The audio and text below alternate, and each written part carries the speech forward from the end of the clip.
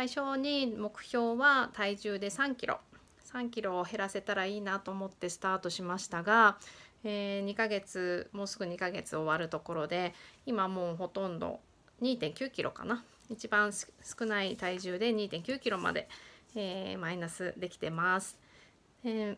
やっぱり自分で選んだその例えば YouTube 動画とかそういうものをやっていくよりも効率よくいろんなところの筋肉が鍛えられてるんじゃないかなというふうには思ってます。えー、ひとみちゃんのアドバイス通りに食事を気をつけてると体重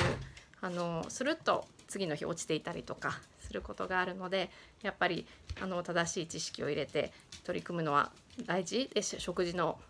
大事さもすごくよく感じました、えー、それ運動を始めてそれから食事に気をつけるようになってからとてもあのお肌の調子がいいかな。ここ顔ですけど、うん、肌の調子がいいかなっていうのもお化粧したりなんかしていると感じるところです。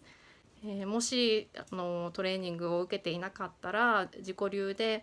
あのやって効果が出なくて挫折するっていうことになってたかなと思うんですけど今は順調に体重が減ったりとかあのサイズダウンしてるのが実感できるので頑張ろうっていう気にもなれるし、えー、リアルでトレーニング一緒に参加できるとひとみちゃんの優しい声かけがあるのでもうちょっと頑張ろうっていうふうに思えて、えー、2ヶ月頑張ってきました。あと1ヶ月頑張りたいと思います。